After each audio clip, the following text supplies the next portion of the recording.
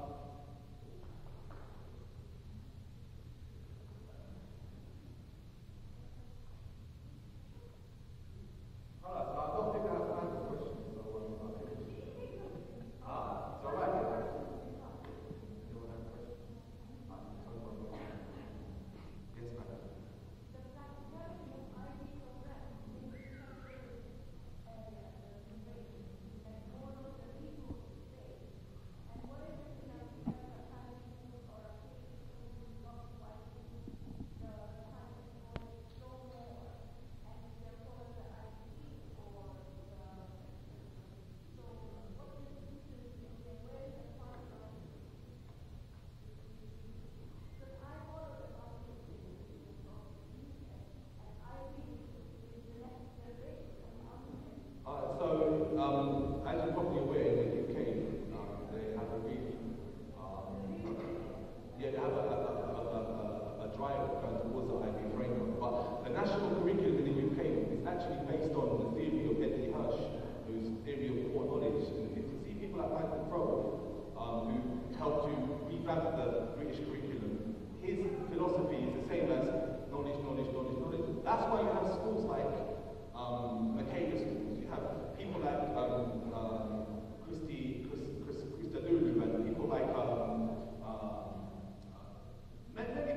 come out of the UK with this mindset of, you know what, knowledge, knowledge, knowledge, knowledge. And that's the area that UK schools are going to. That's the way that UK schools are going to. Having said that, there's a pushback.